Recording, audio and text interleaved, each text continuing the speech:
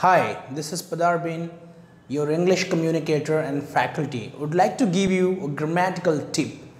Most of videos are based on grammatical tip and this tip is the first video that grammatical tip 1. Here I would like to draw your attention on worse and worst. How to use it? Generally worse means which is unpleasant or bad, right? So how we can use this worse and worst? Is very easy. Worse is your comparative form which is the bad and worst is a superlative form which is also bad.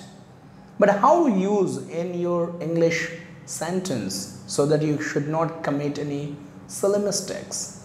So right now here you need to understand the problem got worse and worse. The problem got worse and worse but do not say more worse or worser.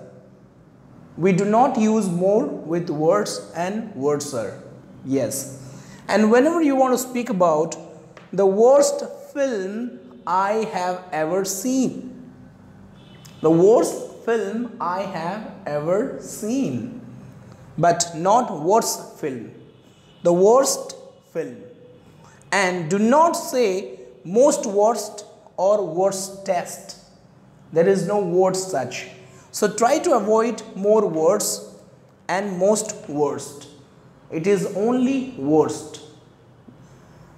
The problem got worse and worse and the worst film ever I have seen. So whenever you are using worst, always use before a noun so that you can have accuracy in your grammar.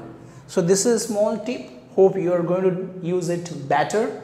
And for more details, keep watching more grammatical tip videos. Thank you. Alright, please subscribe and share with your friends. Bye-bye.